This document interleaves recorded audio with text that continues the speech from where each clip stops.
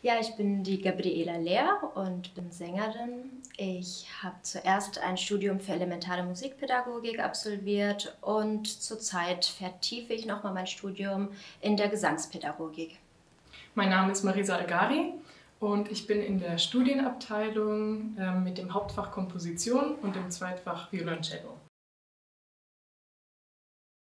Als ich äh, von Brasilien zurückkam, das ist mein zweites Heimatland, äh, kam ich ja, wieder zurück nach Frankfurt und ähm, habe dann das Dr. Host Konservatorium äh, kennengelernt. Und ich habe sehr schnell gemerkt, dass es hier eine sehr familiäre Atmosphäre äh, gibt und ja, es ist nicht so groß wie an einer Hochschule. Ja, man hat dann wirklich so ein ähm, also einen besseren Kontakt zu den Dozenten. Das ist was, äh, was mir jetzt sehr wichtig war, dass ich eine sehr individuelle Betreuung habe, weil ja, für mich als Künstler und als Pädagoge es einfach wichtig ist, dass ich da meinen Weg finde.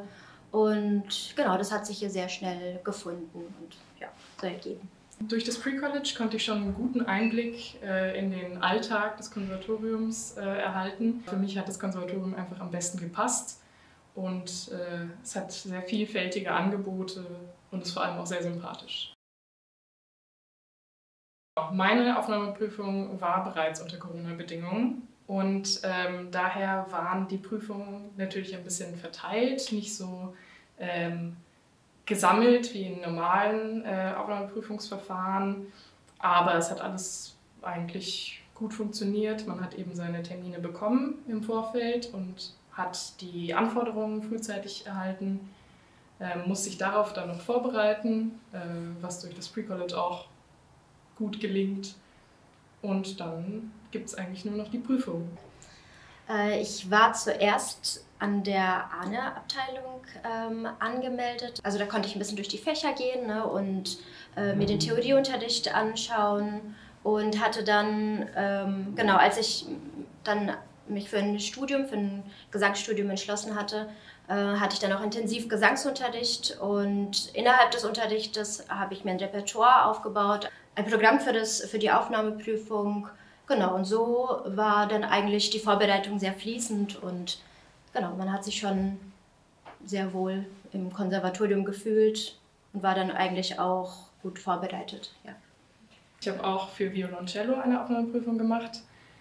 Das ähm, fand im großen Saal statt mit einer Klavierbegleitung auch hier vom Haus. Äh, mit der habe ich mich vorher noch verabredet gehabt, um die Stücke ein bisschen einzuüben ähm, und dann vorzutragen.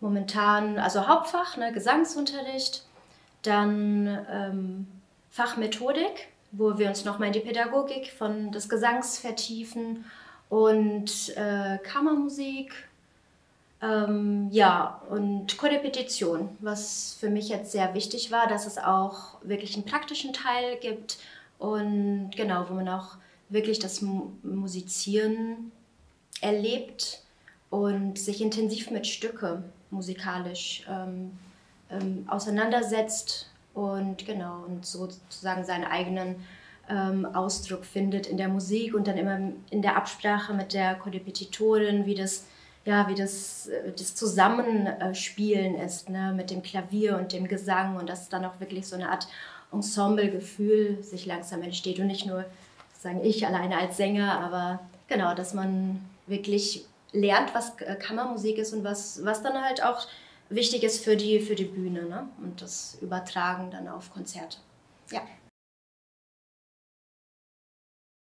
Ja, das ist eigentlich ganz äh, unterschiedlich, ähm, da man ja so einen guten Kontakt hat auch zu Kollegen und äh, ich hoffe jetzt bald mehr ne, wieder, ähm, findet man sich mal im Studentenraum, äh, kann man sagen, und ja, man sagt, ja, ich habe hier ein Stück, möchtest du das begleiten oder möchtest du mit mir dass du dieses Duett singen ne? oder, oder es kommt auch von Dozenten natürlich. Es sind einige Projekte, die, die hier angeboten werden und Konzerte und wo, genau, wo wir dann teilnehmen. Das Schöne ist ja auch, man hat einen guten Kontakt zu den anderen Abteilungen. Ne? Mal entsteht ein Projekt zwischen ähm, genau, zwischen der Gesangsabteilung und ähm, alte, die Abteilung für alte Musik. Und genau, da entstehen ganz schöne Konzerte oder mit der elementaren Musikpädagogik, was dann die Kinderkonzerte angeht. Also es, es gibt wirklich reichlich Möglichkeiten, hier ähm, künstlerisch und musikalisch tätig zu sein. Ja. das ist der große Saal.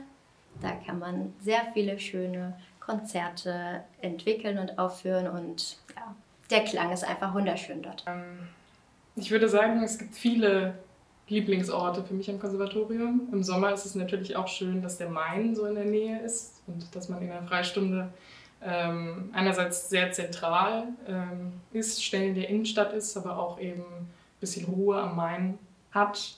Ähm, und sonst, der Balkon ist auch immer ganz nett, um ein bisschen Frischluft zu tanken. Also man ist ja äh, sehr viel hier im Haus. Ne? Es ist ja fast so wie ein zweites Zuhause. Ähm, Künstler, Musiker zu sein bedeutet, seinen Beruf zu leben. Und das fängt, glaube ich, auch hier schon im Studium an. Man ähm, ist immer ähm, Austausch mit anderen Musikern, mit den Dozenten, mit den Kollegen, mit anderen genau, Instrumenten und Sängern dass, äh, dass ich das jetzt schon so erleben kann, dass es so einen natürlichen Weg hat und dass man Stück für Stück so, sozusagen seine, ähm, seinen persönlichen Weg da findet. Äh, das äh, genau war für mich jetzt sehr, sehr wichtig und äh, ich bin richtig froh, dass ich hier im Haus bin und weil ich weiß dann auch, dass wenn ich das jetzt so erlebe, dann auch wirklich Freude an meinem Beruf habe. Genau. Und das mhm. ist, was äh, ja, mich hierher gebracht hat und darum bin ich auch gerade noch hier. Ja.